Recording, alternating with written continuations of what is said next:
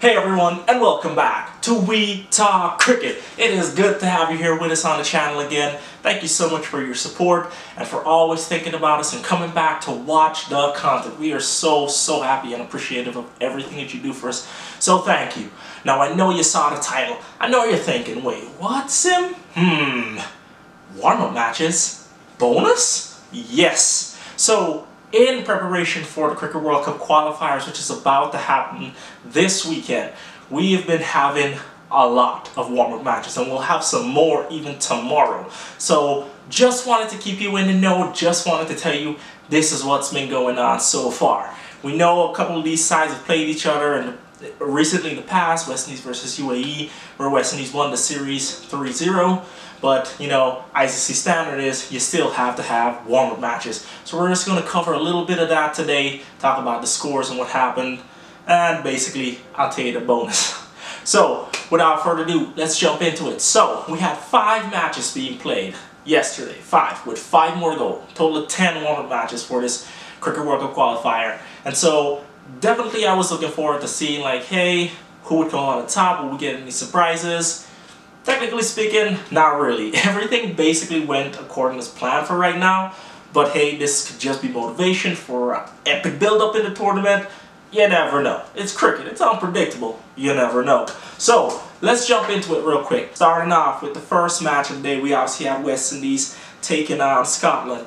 Surprisingly, West Indies were bowled out for 274. Scotland, in response, could only muster 173. So, a good yes for West Indies, a good, but a bad no for me. Not a good one because honestly speaking, this is this is a, a smaller nation. Scotland has been playing for a little bit, but come on, you should at least bat out. You know, get through those overs and make more than 300 runs. Just saying.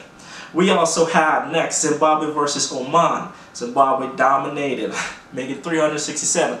Now the surprise is going to come later. Oman made 339. So, not much of a victory for Zimbabwe. Yes, still a victory, but at the same time, I'm like, you cut it real close right there. Like, real close. I was expecting more of like a peel away, like a 100 run victory. But these smaller nations are showing us just what they can do just what they can bring to the international scene. I think we're going to be in for a lot of surprises once the tournament starts on the 18th. The next match we had was the Netherlands versus Sri Lanka. No surprise there. Sri Lanka, Netherlands made 214 all out. Sri Lanka just cruised to victory, making 215 for 7 off of 37 overs. So Sri Lanka definitely means business coming into this. And I, you can tell, like, they're like, yeah, we shouldn't be here. We should be up with the big dogs. But, well, you're not. Welcome to the small dogs table. but anyway, anyway. But still, really good, I think, getting in preparation, getting things going. The next couple of matches we had was the United States versus Ireland. Ireland came out on top, beating the United States by five wickets. The United States didn't make 312 runs, but bowling, bowling, bowling lacked on the U.S. side. On both sides, actually, if they were able to make uh, 600 plus runs between themselves, you know what I'm saying? Um, Ireland did chase that down, made 315.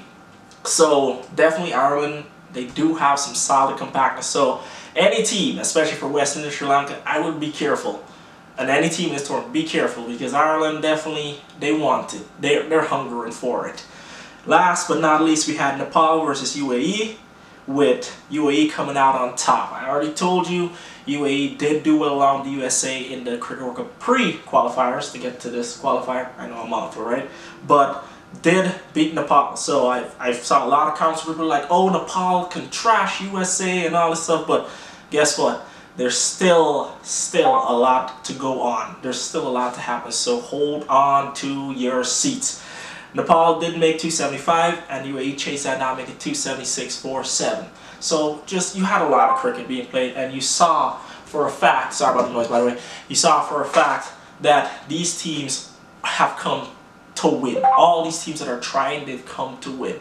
So hopefully we can see some good stuff coming out now. We do have the next set of warm matches start tomorrow, like I said, so we'll see how that goes. Now for the bonus. We have a one-off test between Bangladesh and Afghanistan going on right now. Now, some of you don't like, wait, what, really? With Cricket World Cup only a couple months away? Yes, you still gotta play cricket. The Ashes are starting real soon, so cricket has still gotta be played. So, Here's my bonus round because this was a surprise of day one. Bangladesh. Bangladesh 362 for 5.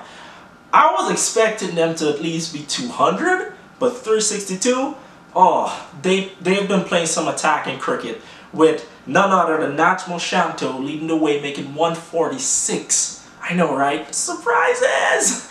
And being supported by Mahmudul Hasan Joy making 76. So we are seeing Bangladesh stepping up in the test cricket arena trying to take on. Now I know it's the same thing with Afghanistan and Ireland. They're still new to the test cricket arena. They still have a lot of experience to gather and gain.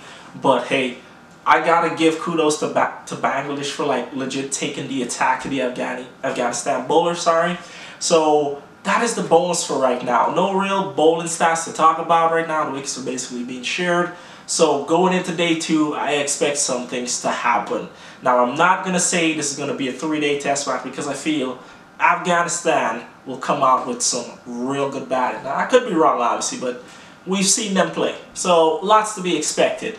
For now, it is what it is. You just got to keep going. For me, I was really impressed, like I said, seeing the Bangladeshi batters come out and just bat so aggressively. So lots, lots going on right now. So there's your bonus for the day. Hey, just want to give a big shout out again to Twila. Remember, this video isn't sponsored, but they're still pushing us to say, hey, you guys can still make great content, you guys can still do great stuff. So I would just want to say a big thank you to them. And also, if you still need a great pillow, hey, use the promo code up here. It is still ongoing. You'll get a 15% discount. But besides that, hey, thank you so very much for coming back. And come back again tomorrow so we can do what? Talk cricket. I'll catch you later. Hey, hey.